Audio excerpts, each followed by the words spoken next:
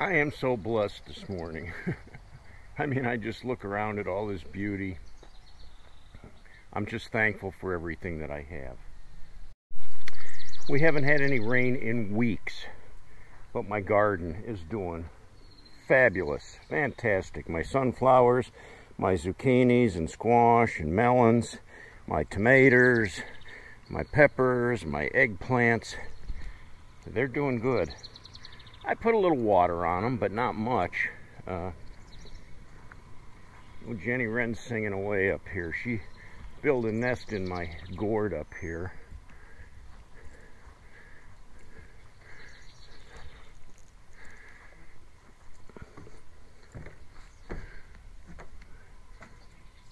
She's building a nest inside the hanging gourd. My hanging flowers are doing fabulous there. I'm just so blessed. And to answer the question to many people who have asked, what are the cement blocks doing in your driveway? Well, as you see, I have this circle that goes around and out. It's fine for a small compact car, but it doesn't quite fit, you know, a big UPS truck or a FedEx truck. And so when I got deliveries, they were coming in and going around. And down at the lower end by the shed, it was very wet and soft down there. And they were going off, obviously, going into the grass and leaving really deep ruts. So, but it's dry now. I mean, we haven't had any rain. The ground is hard, it's dry. So I took the blocks out for the summer. So if they want, they can go around the circle. And then I finished my project over here setting up the old uh, sickle bar. And put some gravel down. I've got some uh, fabric down underneath to keep the weeds a weed blocker. Uh, but I like it. The only thing it's missing is a seat and we're kind of looking for one but I'm not paying what, what they're asking for on eBay either. Yeah you can see the barn swallows have been here I've got barn swallows under the front porch and they are relentless and they're pooping all over my deck all over my wheelchair ramp e everywhere. Everywhere they they sit they they poop. And I don't want to get rid of them I could crawl under there and knock their nest down but I I'm not like that. I'm just blessed that they have a place where that they can raise their babies and be happy. I'm getting ready to ride here today, but I thought I'd give you an update about my truck. What's going on with that thing. I told you a couple weeks ago I was having problems with this uh, infotainment center. So the screen here started going all wonky, doing its own thing. And then I also have this little screen here that shows me the speed limit and my speed and everything. And you can do other controls from that too. You can see tire pressure and uh, the next oil change. Uh, you can do trip meter on that. Uh, but this controls the radio and this controls the navigation and a number of other things. And it just started going all haywire on me.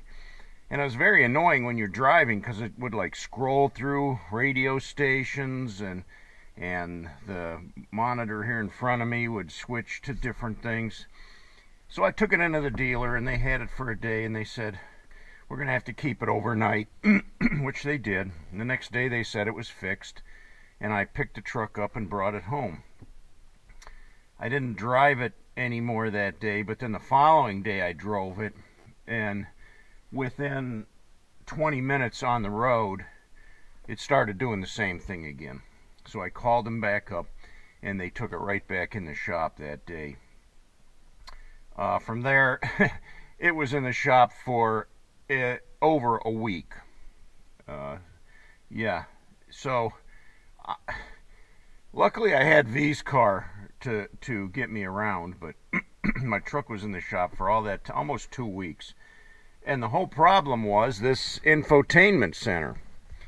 Now, before they could do anything, they said they had to follow protocol and and in doing that, they have to follow all these wiring harnesses to make sure nothing is shorted out in the wires. And that's a protocol from General Motors in troubleshooting this issue. So, down here on my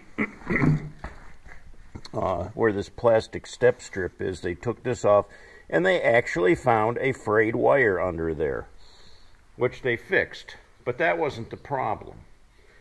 They had to pull the whole dashboard and go through all these wiring harnesses.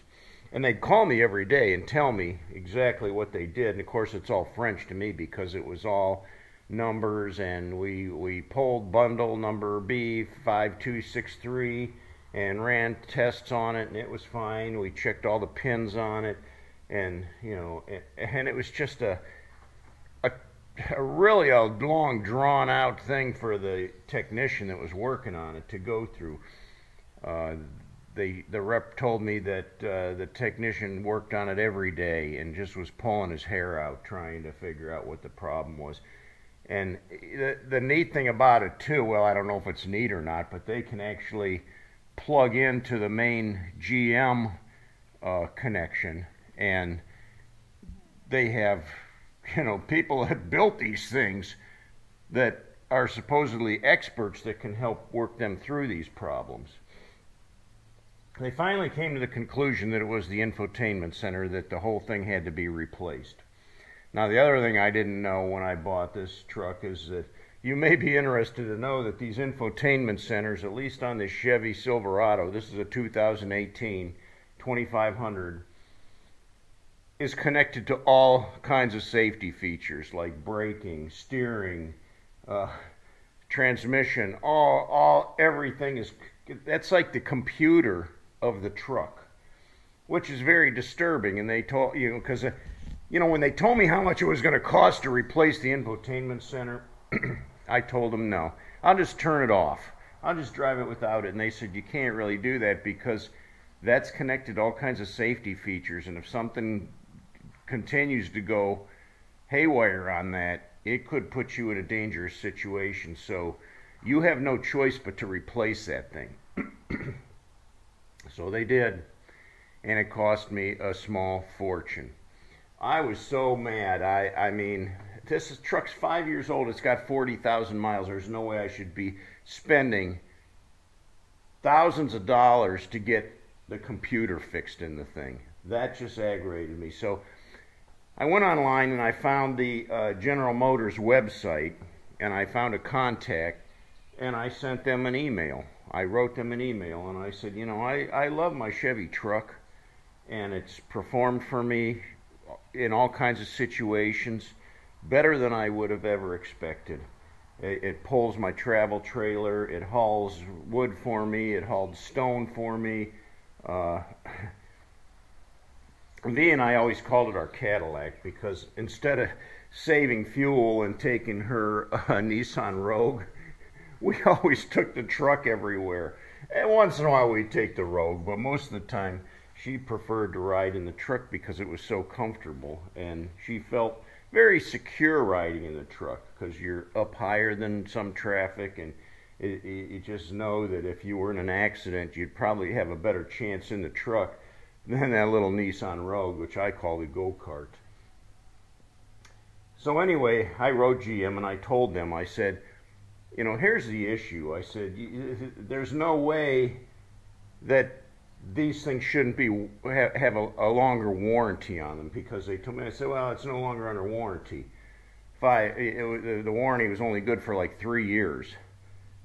Uh, so they know these things are going to go bad, and then, you know, I get gouged on it, and, and I wrote, I, I told them everything. I said you know, not to mention that my truck was in the shop for like a week and a half. I didn't have my truck. And that's ridiculous on a repair like that. And I said, it wasn't like it was just sitting there either. The technician worked on it every day. And I said, I'm not blaming the technician. I'm blaming GM for their design and, and using this modern technology that fails. So I didn't expect much. I, I thought maybe I'd get some kind of a form letter back. Thank you for your consideration, blah, blah, blah. We hope to continue doing business with you. but no, they called me. Now, when the guy called me, he was like an ethnic uh, from East India somewhere. And he says, Mr. Avery, uh, this is the, the Chevrolet customer service. and I, I thought it was a spam call. And I said, What service do I want from you? I don't need your service. And I started going off. And, and I usually don't answer calls that I don't recognize. And I don't even, I can't even tell you why I answered this call, but I did. And uh, he goes, No, no, no, no, no. You sent an email. Oh, yeah, I did. Sorry about that. so they followed up with me and uh, said he was going to re- go ahead and review my case thoroughly and had me explain exactly what happened. A couple days later, another uh, rep called me from uh, Chevrolet, from GM, and uh, it was a woman, and she said she was a little higher up on the scale uh, than the first guy that called me, and she wanted a complete review of the case too.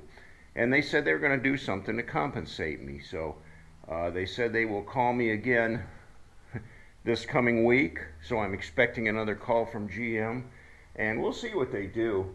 You know, I always said the squeaky wheel gets greased. If you just take it and don't say anything, you're going to get screwed and I do that with anything. If I if I go out to eat, say, and I know it's a reputable restaurant. Let's say I go to Applebee's, and, and I don't normally go to Applebee's. I, I it's not my place, but let's just say I go to Applebee's, and I order my food, and it's not to my satisfaction. I mean, I know good food and I know bad food.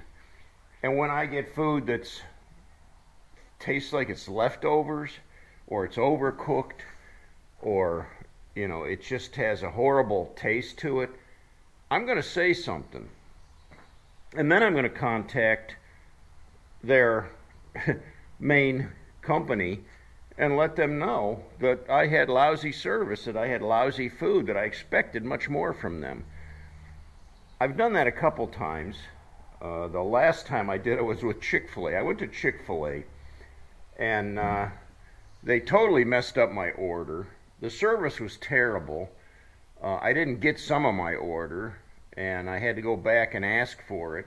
And then it took them another 15 minutes before they got it to me. So I was not up, I was not very happy that day. And I contacted, you know, Chick fil A and let them know uh, that you know, I'm paying for a service, I'm paying for the food, I expect to get what I paid for and not less. And, and so, you know, what did I get? I got a free coup, a coupon for a free meal at Chick fil A.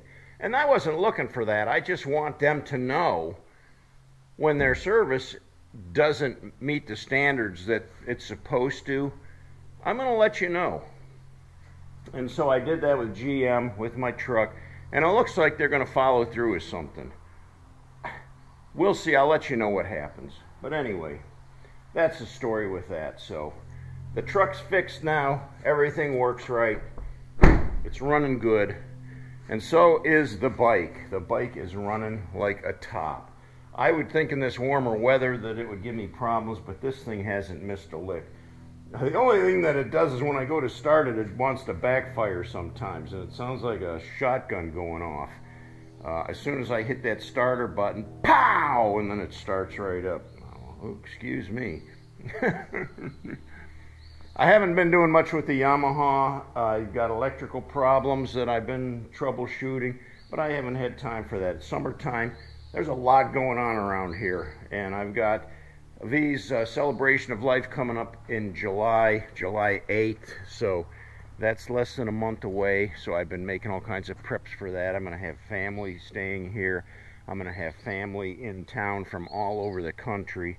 So uh, it'll be a big, big time, and I just want everything to be in order, want everything to be prepared when they get here. and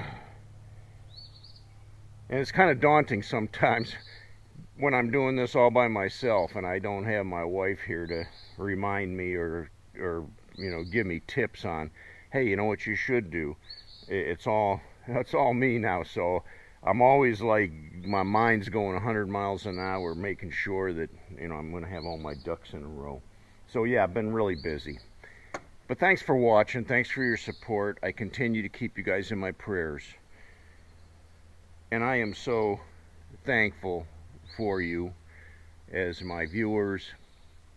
Uh, I'm so thankful for those friends that have gotten to know me personally and uh, some of you I don't really know personally, but I kind of know who you are from your comments or from your uh, messages that you've sent me. I'm praying for all you guys, and I appreciate every one of you. Well, it's going to be a beautiful day. It's going to be a good day for riding. And uh, if you like my video, give me a thumbs up. If you haven't yet, please subscribe to my channel. And until next time, cats, ride hard and die free.